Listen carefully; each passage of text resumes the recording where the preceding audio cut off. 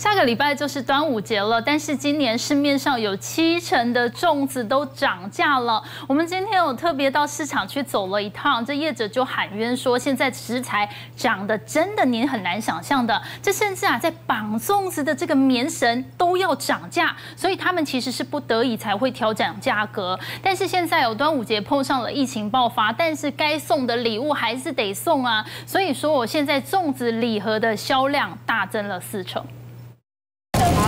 好，十个。端午节脚步接近，整个南门市场飘散粽叶香气。但今年万物齐涨，从咸香鲜肉粽到香甜豆沙粽，各个涨价五到十块。包括粽叶，我们在讲最简单的，这个棉绳就好了，一磅就要涨三十。五花肉。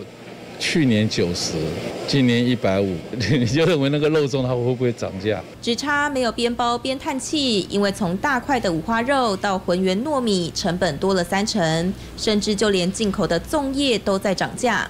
根据行政院消保处调查也发现，今年市面上有百分之七十三的粽子品相都涨价，涨幅在两成以内。你不是天天在吃的东西，可以接受？涨到多少都还能接受？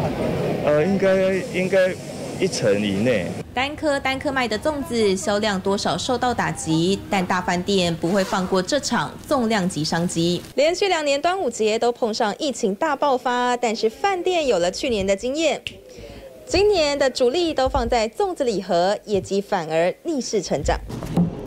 水蓝色包装的粽子礼盒，吃得到主厨特制的紫米雪莲粽，想尝鲜还有绿豆仁或橄榄菜。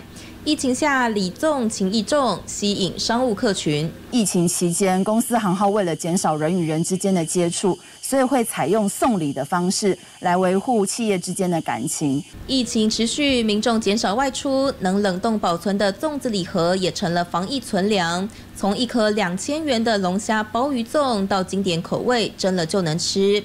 电商平台发现，粽子销量都比去年成长百分之四十五。看来不能旅游放风，就先靠吃好好放纵。东森财经新闻，刘子腾、刘志在台北采访报道。看不中断，赶快来按赞！东森财经二十四小时股市直播来喽！快点扫 QR code 加入，让我们来陪着你们看盘。最及时的盘中资讯，最权威的投资分析，满满一整天盘后交战，都在东森财经二十四小时股市直播。